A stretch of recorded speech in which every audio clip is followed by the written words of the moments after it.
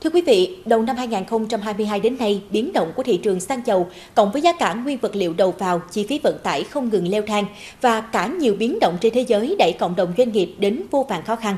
Các chính sách hỗ trợ của chính phủ của tỉnh cũng đã phần nào giúp doanh nghiệp chống chịu, song cộng đồng doanh nghiệp vẫn mong muốn có thêm những chính sách trợ giúp quyết liệt hơn. Nhà máy kết cấu thép QF Plus, công ty cổ phần kết cấu thép QF Plus trong khu công nghiệp B1 Conat ở thời điểm dịch COVID-19 chưa được kiểm soát, dồn dập nhận đơn hàng. Nhưng từ tháng 7 năm 2022 đến nay, số đơn hàng giảm chỉ còn khoảng 30% so với những tháng đầu năm. Các đơn hàng và liên quan thì bắt đầu chậm dừng từ bắt đầu từ tháng 7 đến tháng 8. Tuy nhiên là với ờ, sự cố gắng của ban lãnh đạo cũng đang xúc tiến cái việc là mở rộng các thị trường liên quan về xuất khẩu và bên Nhật Ờ, châu Âu và các nước ASEAN. Thì vừa qua thì công ty cũng đã có những cái ờ, cơ sở và cũng như là làm việc với các đối tác bên nước ngoài và cũng như lấy được các giấy chứng nhận đầu tư ờ, bên nước ngoài để đẩy mạnh cái vấn đề về xuất khẩu. Nhà máy bê tông Nam Nguyên Bà Rịa thuộc công ty cổ phần xây dựng Nam Nguyên trong khu công nghiệp chuyên sâu Phú Mỹ 3 đã hoàn chỉnh dây chuyền sản xuất cuối năm 2021. Thế nhưng đến nay, nhà máy vẫn chưa đi vào hoạt động do ảnh hưởng của làm phát kinh tế.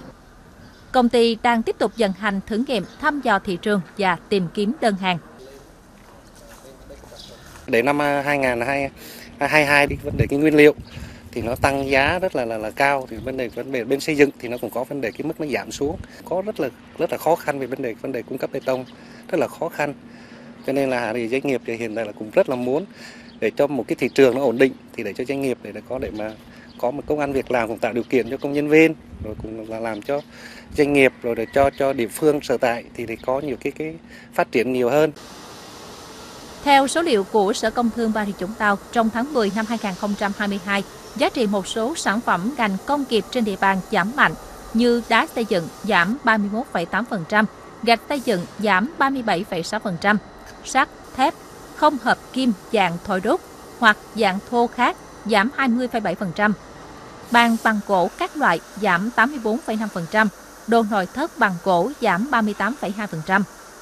Tỉnh đã triển khai nhiều giải pháp để hỗ trợ doanh nghiệp, trong đó có tổ chức hội nghị đối thoại giữa lãnh đạo tỉnh với doanh nghiệp và nhà đầu tư, nhằm trao đổi thông tin, nghe kiến của doanh nghiệp, nhà đầu tư. Tổ chức hội nghị cho doanh nghiệp chia sẻ kinh nghiệm, kết nối thị trường. Đặc biệt, tỉnh luôn quan tâm đến cộng đồng doanh nghiệp nhỏ và vừa. À, những cái chính sách hỗ trợ của cho doanh nghiệp ờ, nhỏ và vừa thì ờ, thực hiện cái chính sách miễn giảm thuế phí lệ phí để hỗ trợ và phục hồi cái doanh nghiệp hợp tác xã kinh doanh được theo các nghị quyết của chính phủ. Bộ Công Thương cũng đã chỉ đạo các thương vụ tích cực tìm kiếm và cập nhật danh sách nhà phân phối, sản xuất nguyên phụ liệu trong nước cho các ngành mũi nhọn, hỗ trợ các hiệp hội ngành hàng, doanh nghiệp kết nối với nhà cung cấp nước ngoài. Thương vụ cũng đã vào cuộc hỗ trợ rất là tích cực các địa phương, các hiệp hội, các doanh nghiệp trong việc là khai thác các nguồn nguyên liệu vật tư để mà có thể là đa dạng hóa các nguồn vật tư nguyên liệu tránh ờ, cái việc là đứt gãy chuỗi cung ứng hay là gián đoạn sản xuất. Bộ Công Thương cũng cho rằng các doanh nghiệp sản xuất cần đa dạng thị trường nhập khẩu nguyên liệu lẫn thị trường xuất khẩu hàng hóa để tránh phụ thuộc. Cần có chiến lược dài hơn trong tìm kiếm thị trường mới nhằm giảm bớt phụ thuộc vào các khách hàng truyền thống để giảm bớt rủi ro về thị trường.